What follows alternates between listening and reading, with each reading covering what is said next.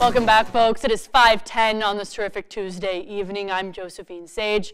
Let's talk weather. Right now, as we take a look outside at America's Mattress Live Tower Cam, we've got some clouds, we've got some overcast skies, and as we get throughout the rest of this evening, we will continue to have these clouds. And waking up tomorrow as well, still looking at a little bit of some overcast skies for those daytime hours. Now, our weather headlines are going to show us here in the valleys. We're expecting warm temperatures through the work week, 5, 10, even 15 degrees above those seasonal averages.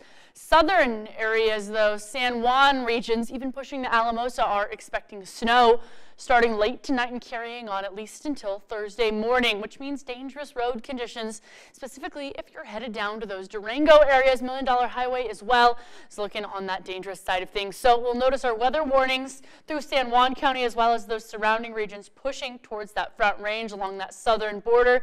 We'll stay with that active at least until Thursday at 11 a.m. Now, I do want to chat about Montrose. Right now, as we take a look outside down there, we've got a little bit of some snow coverage, a little bit of some snow accumulation in those hills and in those mountaintops. We do have that chance for all these storms to maybe push up just a little bit to get some more snow accumulation, at least in those areas above about 6,000 feet through Montrose and maybe even a little bit of some rain and snow pushing towards Delta and Grand Junction. But with all this in mind, like I said, you probably don't want to head down to those southern regions. But if you do, slow down. Please check cotrip.org to make sure and just check on those driving conditions. And of course, pack patience. Be cautious of those drivers around you.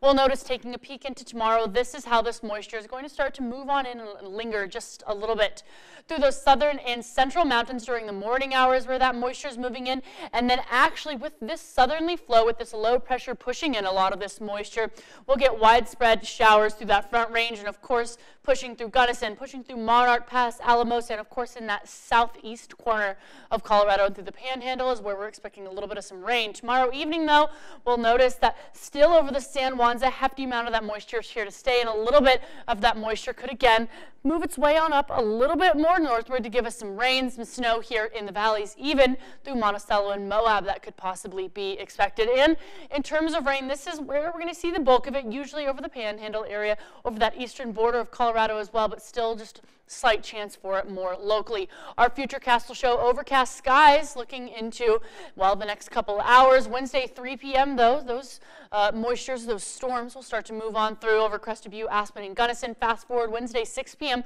that's when we have that slight chance for moisture. Fast forward again, 10 p.m., starting to kind of move on out of the region. And by those Thursday morning hours is where we are just expecting clouds as, well, all those storms have moved out of the region.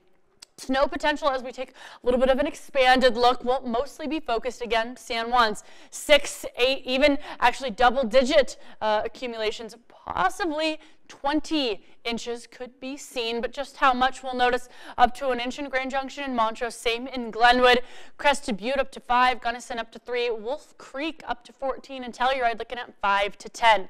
Discovery Auto Group 7-day forecast will show upper 40s more locally, though, and through the weekend, still hanging around with those sunny skies and above average temperatures. Montrose, few degrees cooler, mid-40s seen at least until Saturday.